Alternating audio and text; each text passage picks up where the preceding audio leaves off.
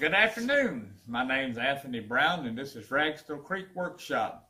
I hope you enjoy the video today. It's made for your enjoyment. This machining and not too experienced as it. Please be safe because this stuff is dangerous. I've seen guys get their hands messed up and that's no good. So if you uh, machining, please be safe. Wear your uh, your eye protection and your earplugs. So please don't wear gloves around this moving stuff because it's uh, it's dangerous. It'll grab them gloves and tear a finger or mess up a hand in a heartbeat. So please don't wear gloves. And uh, like I said, wear all your safety equipment and be safe. Hope you enjoy the video. If you're not subscribed, please do so. Uh, you don't have to. Just come back anytime. I enjoy having people view my uh, videos here. Today we're going to take this little uh, cheap Chinese indicator apart. Uh, I've had this thing uh, probably 20 years and uh, it just quit working uh, about a year before I retired and uh, I never did take it apart to see what was exactly wrong with it. So we're going to do that today.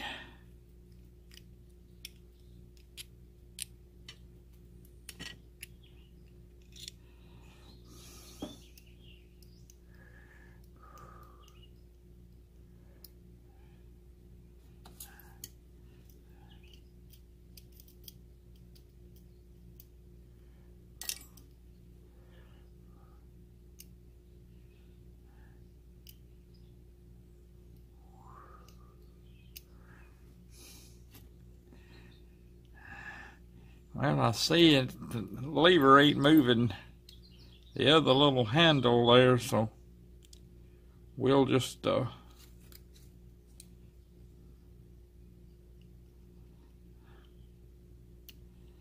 take these other three little screws out and see what we can see.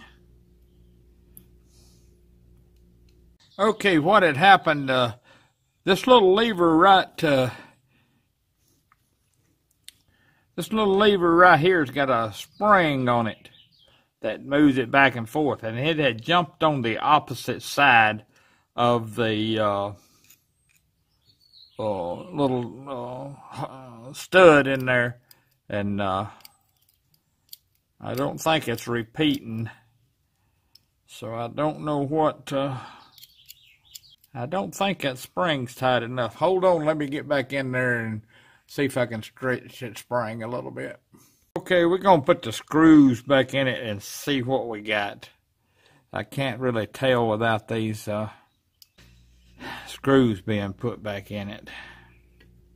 So let me get these screws put back in it and we'll come back. Okay, we got the screws back in it.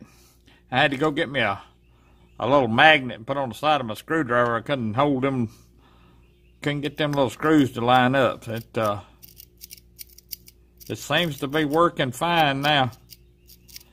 Uh, that spring had jumped on the wrong side and uh, I just added a little bit more tension to it.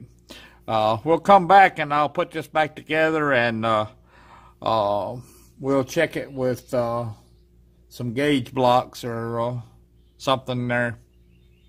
Okay, we got her back together. Now we're going to check our Uh, indicator is accurate. So I've got 143 gauge block, a 148, and a uh, 149. So let's uh, see what we got here, and uh, we'll go up to, we'll put it on zero.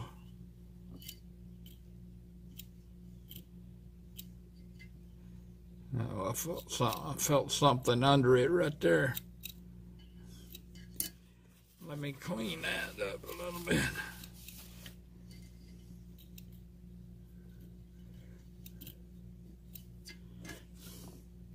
Okay, let's try this again now. This is a 143. And this is a 148. So it should read plus 5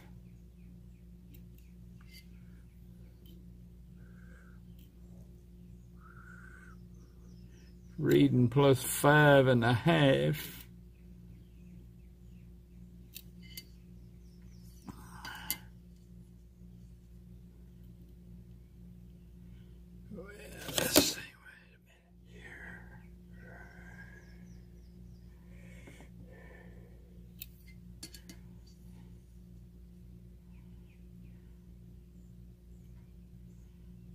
That's about for us 148 and two tenths or so. Uh,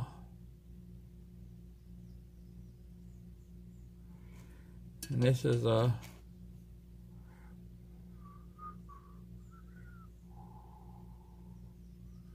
well there we go one 143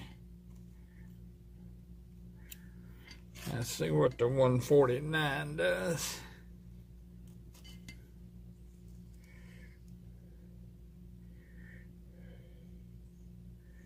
It's about two tenths, two, two or three. This is a plus two tenths set, so that should be six, and it's about two tenths over.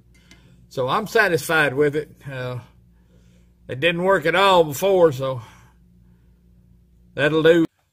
I found uh, two gauge blocks with the same deviation according to according to the uh, spec sheet we got here. It was a, uh, uh, let's see what, we got a 117 and a 123. So the 117 is checking. So that means the 123 should be right on zero. So the other deviations was, uh, uh, one of them was one way and one of them was the other way. So uh, that made it even look worse. But uh, I'm proud of that. It's uh, looks like it's right on the money. Just start and seen that. So uh, again, thank y'all for being here, watching my videos. I appreciate all the views I get.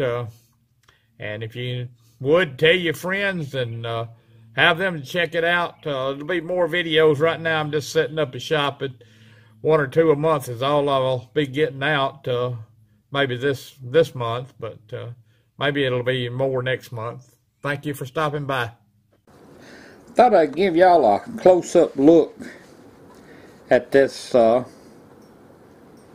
insides of this uh,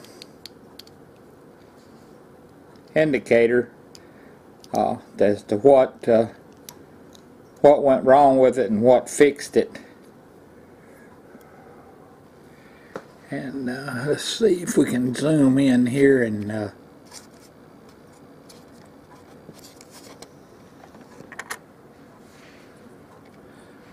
I don't if you can see that spring uh, right there it jumped on the opposite side of this little well this little stud right here. It jumped on the opposite side of it and that's the reason it wasn't working. And when I put it back to where it was uh, working it uh, didn't have enough tension.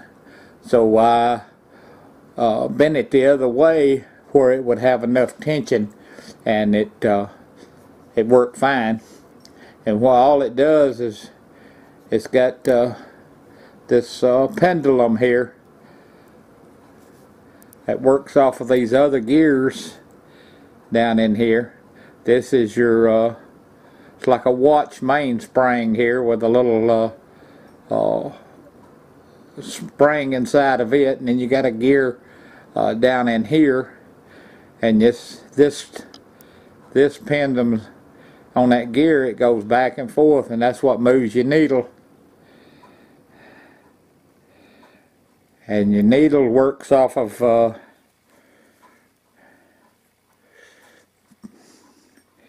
let's see your needle works off of this uh, let's see let me get it in focus again. Let me back off a little bit the uh, needle works off of this gear here it's got a uh, It's geared on top right here.